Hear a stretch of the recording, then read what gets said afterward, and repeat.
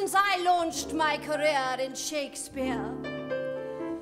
At a most tender age, I first tottered on stage as a page.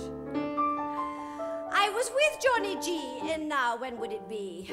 43. Larry was such a dear.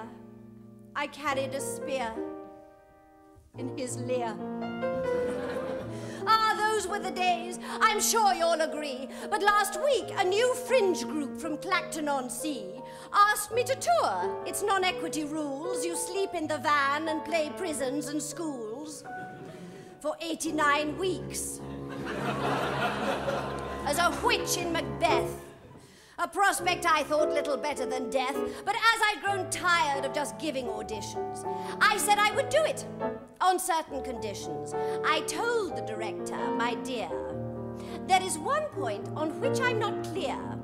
We fixed up the sordid finance, so to speak, and I'm working for practically nothing a week. But in witch part am I to appear? Which which? Is it first witch or second or which? As one who's played Lady Macbeth in her day, I must be the witch with the most lines to say. The tall, scraggy, thin one does not interest me. I must be the hag with the gag in Act Three. If it's the first witch, well, then I should love it. But if it's the second, you know where to shove it. The second witch part is of slender repute, though she's got one good line. Can't I say, eye of Newt?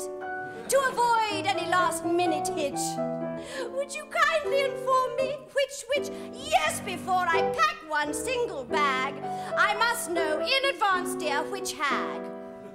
There's only one crone, dear, which frankly will do. And I don't mean crone three, and I don't mean crone two. It would save some expense if you didn't have three. Why not lump them together and only have me? do you know, dear, I think it would work.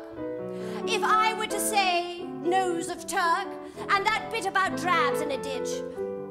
I just want to know, dear, which raddled old crow, dear? Which, witch? And another thing, dear, would you care to explain what the witches will wear? He said, nothing. They're nude.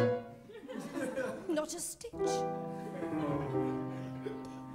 So I never discovered which witch.